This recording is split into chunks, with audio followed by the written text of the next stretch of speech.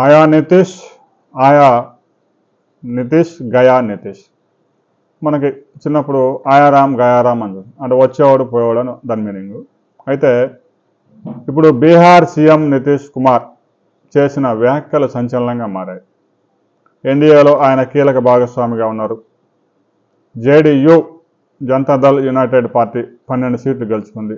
ఆ పన్నెండు సీట్లు కూడా బీజేపీకి కీలకం. ఆ పన్నెండు సీట్లతో కలిపి రెండు వందల తొంభై మూడు. ఎంపీల బలం ఉంది. ఇక రెండు వందల డెబ్బై మూడు మా మార్కుని మ్యాజిక్ ఫిగర్ని ఏదైతే బీజేపీ దాటలేకపోయింది అటు తెలుగుదేశం పార్టీ పదహారు జేడి యు పన్నెండు. ఆ శివసేనలో చీలిక వర్గం అవన్నీ కలుపుకొని ఆ ఎన్సీపీలో చీలిక వర్గం అన్నీ కలుపుకొని ఎన్డీఏ త్రీ ప్రభుత్వం నడుస్తూ ఉంది. బీహార్కి ప్రత్యేక హోదా ఇస్తారా? చేస్తారా అంటూ పార్టీ కార్యవర్గ సమావేశంలో తీర్మానం చేసి కేంద్ర ప్రభుత్వాన్ని పంపించారు.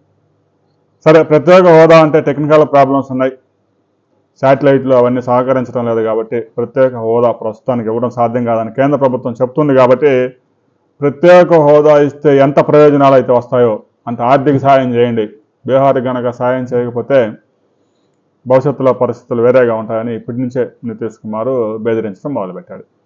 అంతా కేంద్రంలో ప్రభుత్వం ఏర్పడి గట్టిగా ఒక నెల రోజులు కాకముందే ఈ బ్లాక్ మెయిలరు కేంద్రాన్ని బెదిరించడం మొదలుపెట్టాడు.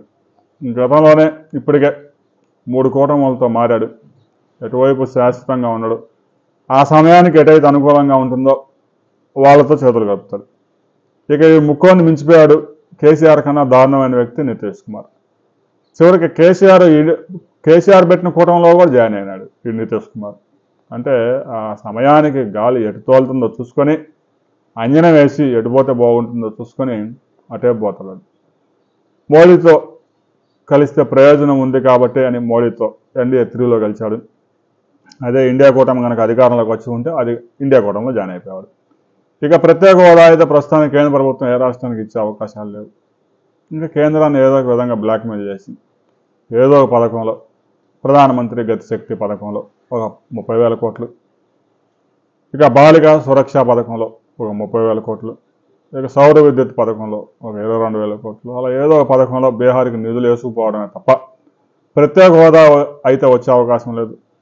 అయితే బీహార్లో ప్రస్తుతానికి అసెంబ్లీ ఎన్నికలు కూడా లేవు కాబట్టి రాబోయే కొద్ది కాలం నితీష్ కుమార్ మద్దతు కొనసాగిస్తాడు.